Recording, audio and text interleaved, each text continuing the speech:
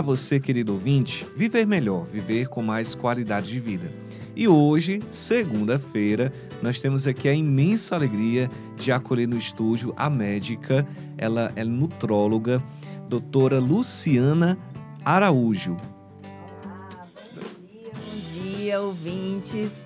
É um prazer imenso estar aqui com vocês novamente e com o Tiago Fontinelli. E vamos aí, né, para muitas perguntinhas, tá? Vão participando e vai ser uma manhã muito interessante. Com certeza, doutora. Gente, lembrando que o tema de hoje nós vamos conversar sobre um tema muito interessante, que é sobre emagrecimento saudável, mas também relacionada à saúde mental. Nós sabemos que vivemos num mundo onde a questão da saúde mental está né, tá muito em alta, principalmente nesse tempo de redes sociais, de internet, onde é crescente o número de pessoas com ansiedade e depressão. Então, se você quer tirar alguma dúvida, participar do quadro Para Viver Bem, você pode interagir através do nosso WhatsApp, tá bom? Você pode mandar a sua pergunta pelo 859-8117-4241, 859-8117-4241 e também no YouTube, no nosso canal Rádio Shalom Oficial. Então você pode colocar no chat também a sua pergunta, tá bom, sobre o tema de hoje. Doutora, é, primeiramente eu quero lhe perguntar é, como é que os transtornos neurológicos, né, como ansiedade, depressão, transtorno bipolar, esquizofrenia, afetam o emagrecimento? Então, Tiago, é, a gente escutou muito que depois da pandemia muitas pessoas, né, começaram a engordar por conta realmente do estresse, da depressão, de muita gente estar tá ali com medo do que poderia acontecer, né? Então, é, a gente já vê o reflexo, né, do, da saúde mental no, na questão da saúde do corpo. Então, muitos, muitos pacientes hoje me relatam, doutor, eu era magra, e agora, eh, depois da pandemia, eu ganhei 20, eu ganhei 30 quilos, né? Então, muitas pessoas adquiriram a ansiedade, adquiriram a depressão, né? Então, assim, os hormônios alteram, por exemplo, o cortisol, que é um hormônio do estresse, né? Que a gente conhece como hormônio do estresse.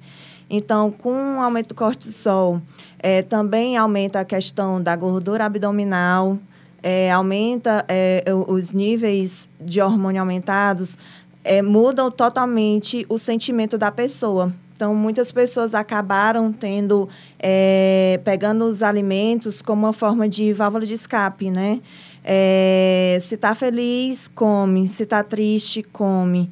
Se teve algum êxito é, na vida, assim, fez alguma coisa no trabalho que foi bom, come. Se não deu certo, também come. Então, assim, a ansiedade e a depressão está muito ligada a essa questão também do, do amor ao alimento, né? Porque o, os níveis de açúcar alto acaba dando um, um, um uma alteração no hormônio e a pessoa fica apegada ao açúcar.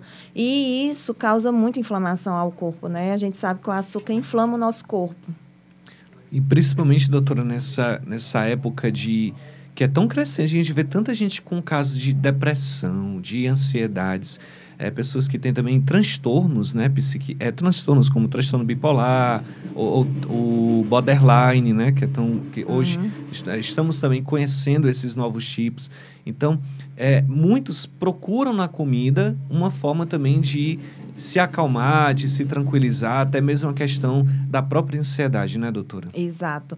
Então, é, é bem importante, por isso que na minha equipe, além da nutricionista, né, nós temos também um psicólogo.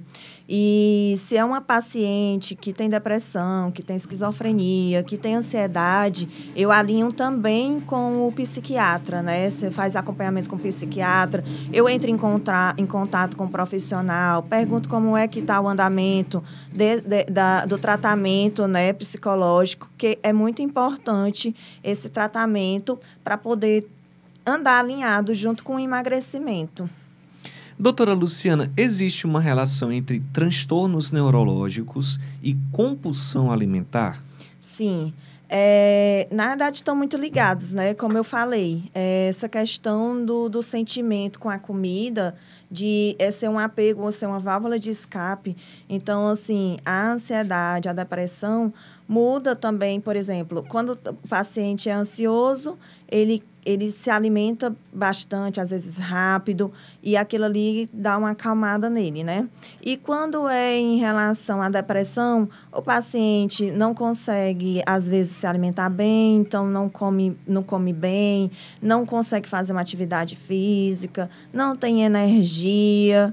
Então, assim, realmente afeta muito nessa na questão aí do emagrecimento, né, da saúde, né? Então, assim, muitos ficam obesos por conta disso, tá?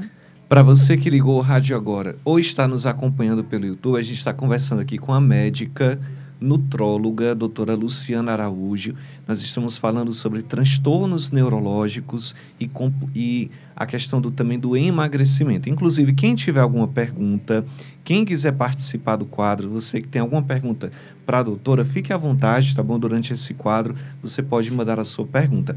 Doutora, como é que uma vida saudável pode ajudar no tratamento dos transtornos neuro neurológicos, né? Como depressão, ansiedade, transtorno bipolar?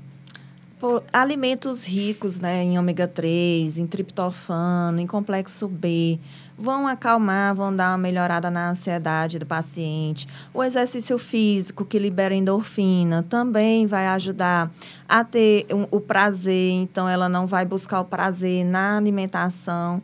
Então, por isso que é bem importante, né?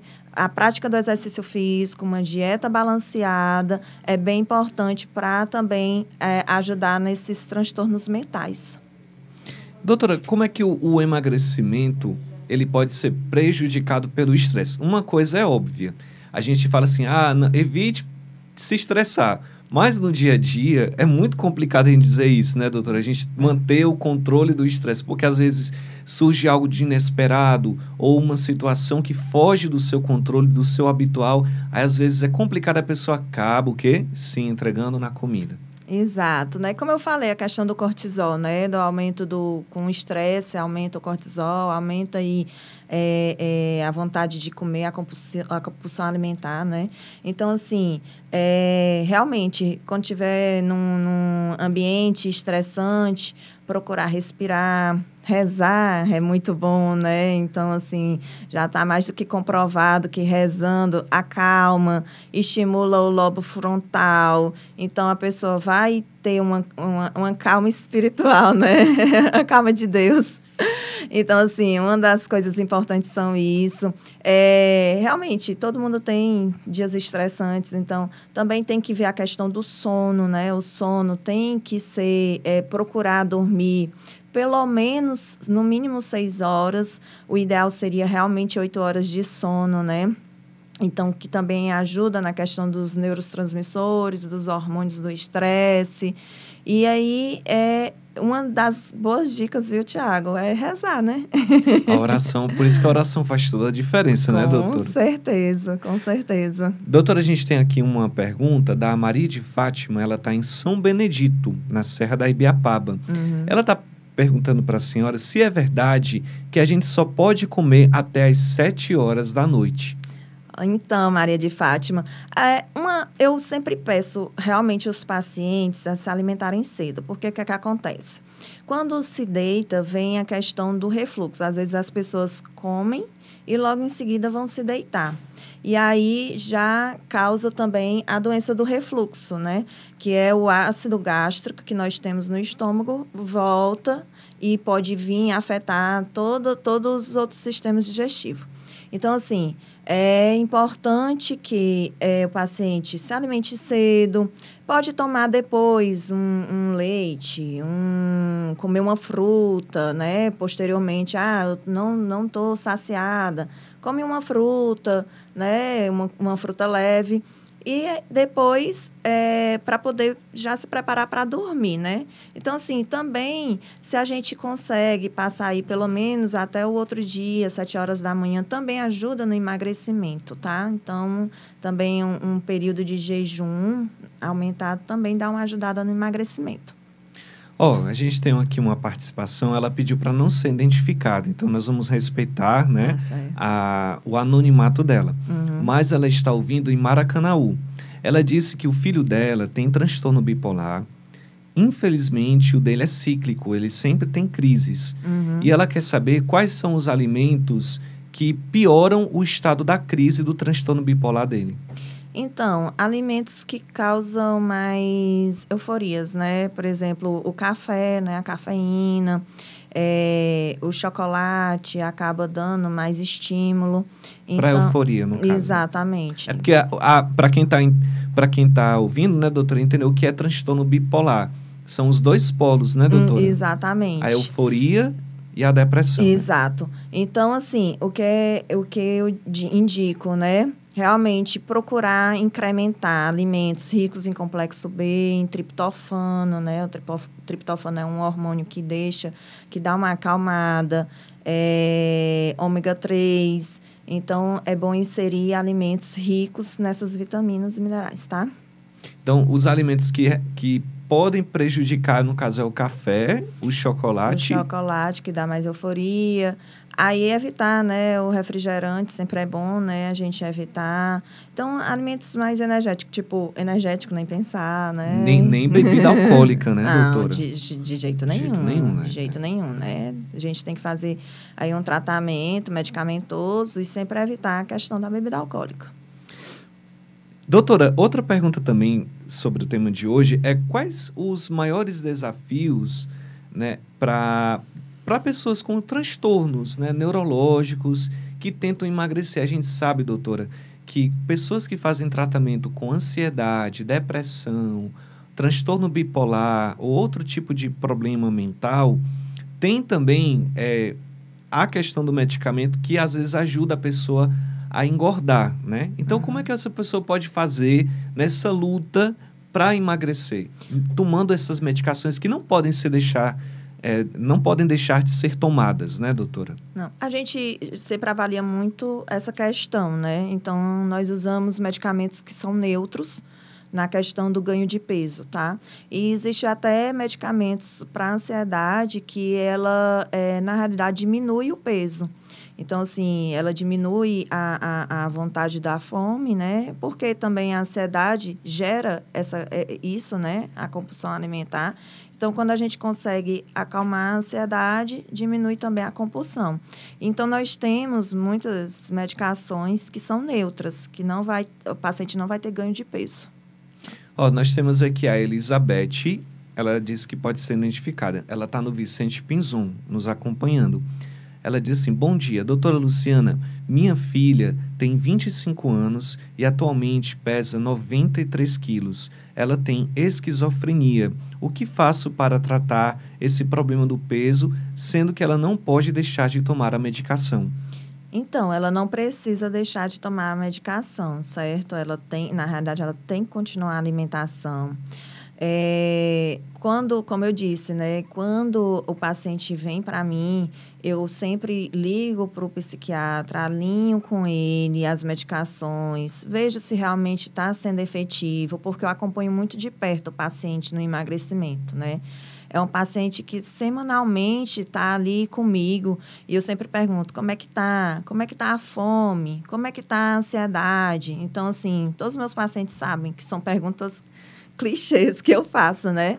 Perguntando como está a fome? Como está a sua ansiedade? Está tendo alguma alteração? Está tendo alguma coisa? Tem algum incômodo? Então, assim, eu acompanho muito de perto meus pacientes, né? Então, assim, se vai ter alguma coisa que eu vejo que vai sair do eixo, eu já vou alinhando com a psicóloga, já vou alinhando com a nutricionista e já entro em contato com o psiquiatra também para alinhar, para alinhar tudo, tudo isso, certo? Ó, nós já temos outra participação. Hoje o, o assunto está rendendo, né, doutora?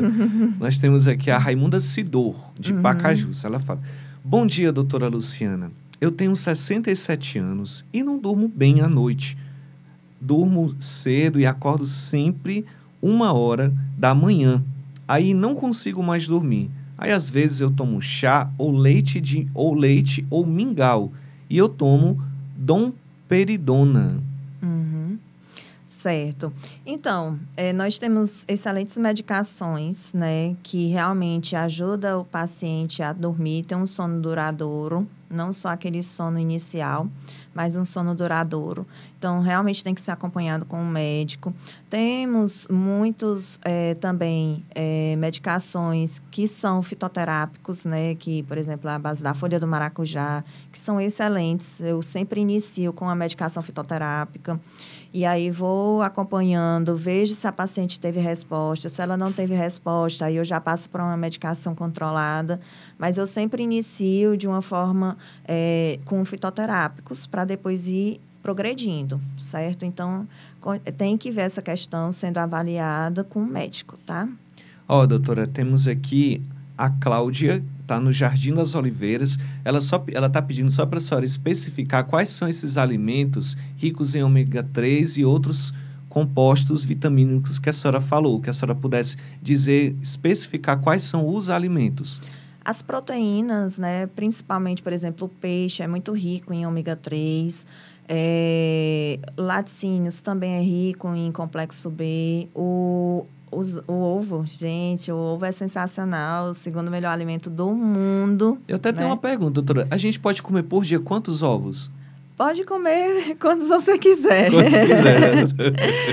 ele só perde, realmente é o segundo alimento mais saudável do mundo, ele só perde por leite materno, né? Então, assim, ele é muito rico em vitamina B12 e que é uma vitamina que a gente até conversou na, na, na no programa passado, né? Muito importante para o cognitivo, muito importante para muitas funções do nosso corpo, né? Então, assim, proteínas sempre é, é bom, né? É rico. É, laticínios também, assim, lógico, o leite é inflamatório, né? Tem muita gente que tem é, inflamação do corpo com leite. Mas se é um paciente que, que, que não tem intolerância ao leite, ele pode consumir um pouco ali por dia, que também tem, tem, é ricos em vitaminas, tá? Então, assim, dá uma pesquisadinha, né? Porque realmente são muitos alimentos. Dá uma pesquisadinha, qual, é, é, qual alimentos ricos em ômega, qual, quais alimentos ricos em triptofano, em complexo B. E aí já procura é, se alimentar bem. Então, verduras, frutas são realmente alimentos que são ricos em vitaminas. Ó, oh, doutora, temos aqui a penúltima participação, um homem. Só que ele pediu para não ser identificado, a gente preserva o ah. anonimato. Ele fala: Bom dia, doutora Luciana. Tenho transtorno bipolar. Há muito tempo faço tratamento com uso de Depaquine e sertralina Uhum. Sofro muito com o ganho de peso, pois também tenho problemas. Pois, peraí, deixa eu só entender aqui. Pois também tenho retenção de líquido. Não aguento mais, não sei mais o que fazer. Me ajude, por favor. Como faço para perder peso? Procurar a doutora Luciana Araújo. então, é, a sertralina é um medicamento neutro, né? Ele não tem a questão do ganho de peso. O Depaquene, né, que é o ácido valproico, alguns pacientes relatam realmente um ganho de peso, é, mas a questão dessa retenção hídrica, tomar bastante água, né? Também foi falado no programa passado a importância, né, de tomar água, dei a dica, né, de andar sempre com a garrafinha. Então, é uma das dicas que vai ajudá-lo. E a outra dica é procurar a doutora Luciana Araújo, que eu vou ajudar ele a perder peso. Aí, olha, você, né? Sabe que o seu caso não está perdido. Você tem uma médica que pode te ajudar. Doutora, outra pessoa pediu para não ser identificada, mas é de chorozinho. Ela fala o seguinte: Doutora, minha pergunta é: eu faço uso de medicamentos para ansiedade e também tenho urticária crônica espontânea. Preciso fazer uso de é antialérgico. Isso tudo prejudica o emagrecimento? O antialérgico não, né? É, o antialérgico não, não tenho nenhum estudo falando que ele causa ganho de peso, né? Mas tem que ver realmente essa questão da urticária, porque muitas urticárias são ligadas realmente ao estresse. Então, assim, e a alimentação, né? A inflamação do corpo. Então, continuo na dica de tomar bastante água, se alimentar bem, é, alimentos é, ricos em vitaminas e minerais, como já foi falado, né? proteínas também bem importante. Então, assim, é, em relação a isso daí, não tem questão do ganho de peso, é realmente controlar, porque como, como ela tem muitas urticárias, que podem até não tem que avaliar, né? Porque é um mundo, as urticárias é um mundo, tem que ser avaliado as lesões. É, pode ser causada por ansiedade, tá? Então, é, tem que ser avaliada realmente pessoalmente para a gente falar sobre isso. Mas a dica que eu dou é alimentação saudável, exercício físico, ingesta é, de água. E a última pergunta, doutora, da Conceição, em Parnamirim, Rio Grande do Norte. Ela pergunta assim: Bom dia, doutora Luciana. Quantas castanhas do Pará podemos comer por dia? Então, nada em excesso, né? Eu até brinquei da questão do ovo, mas realmente tudo a gente tem que balancear, né? Então, a castanha do Pará, você pode comer aí três, cinco por, ao dia, mais ou menos. Porque é mas, muito forte, né, doutora, é, a castanha do Pará? É, ela é muito rica também, né? Então, assim, a, a gente é, é para ter uma saciedade. Então, assim, não é para comer em grande quantidade. Então, assim, chegou um, um por exemplo, tomou o café da manhã, 10 horas, deu uma fomezinha, vai lá, come duas castanhazinhas. No fim da tarde, ah, deu uma fomezinha, vai lá e come mais duas e pronto. Então é né? tudo Não com vamos moderação. exagerar, tudo é. com moderação. Pois é, coma com moderação. Exatamente. E nós estamos chegando ao final ah, do nosso quadro Para Viver Bem. Quero aqui agradecer a nossa querida doutora Luciana Araújo, médica, nutróloga. Doutora, esses ouvintes que hoje né, relataram que tem transtorno bipolar, esquizofrenia, depressão, ansiedade, querem emagrecer, como é que faz para falar com a senhora, doutora? Então, você entrar lá no meu Instagram, né, doutora Lu Araújo, vai ter um link lá que já vai entrar em contato com o WhatsApp, né? Quem vai atender, quem vai fazer o atendimento é minha atendente, porque realmente são muitas mensagens diariamente, né? Graças a Deus, assim, tem uma demanda muito boa. Então, assim, é agendar com a minha atendente, né? E tem que correr, viu? Porque para emagrecimento nós temos poucas vagas. Poucas a agenda, vagas, né? graças né? a Deus, a agenda tá cheia, né? Aí, às vezes, as meninas ficam ali doidinhas para encaixar quando alguém falta, porque realmente a agenda tá bem corrida. Mas eu abraço todo mundo. Se tem alguma dúvida, a minha, a, a minha atendente me manda: Ó, oh, doutora, esse paciente aqui tá com dúvida e tudo. Aí já, já manda para mim e eu já tento responder. Tá? Então, assim, nem se preocupe que apesar da demanda, eu consigo abraçar todos os meus pacientes. A, ó, a Margarida tá perguntando aqui, para quem não tem Instagram, como é que faz? Então, é, vou deixar aqui meu contato, né? É DDD 85 99158 2880. Então, olha, você que está precisando hoje né, de uma médica que vai lhe ajudar, né, um especialista da área da medicina, né, formada, que vai lhe ajudar a emagrecer, entra em contato agora. 85, que é o código de área, né, DD 859 9158 28 80. Eu vou repetir mais uma vez e devagarzinho para você anotar. 85 DDD 9 91 58 28 80. Quem não pegou o contato da doutora Luciana, é só pedir aqui no nosso WhatsApp que a gente envia o contato. Doutora, muito obrigado e a gente se encontra no próximo programa. Eu que agradeço, Tiago, pela oportunidade, né? Agradecer a Rádio Shalom. E realmente é um tema muito importante, né? Que muitas pessoas são impactadas e eu fico feliz de poder dar umas pequenas dicas, né? Mas que possam ajudar, porque o processo realmente do emagrecimento é um processo e cada, cada diferença é um ganho, né? Então, assim, é um processo que a gente é bom ser bem acompanhado, né, com o médico, alinhado com o médico, para que a gente consiga controlar tanto a parte mental como a parte do corpo, tá bom? Exatamente. Então, gente, ó, entre em contato, fala com a doutora Luciana, vai no Instagram, segue ela agora. A rádio já segue a doutora Luciana, DRA Lu Araújo. O pessoal do YouTube já está vendo o Instagram dela. DRA Lu Araújo. E entra em contato pelo número 85 DDD 9 9158 2880. Esse foi o nosso quadro Para Viver Bem.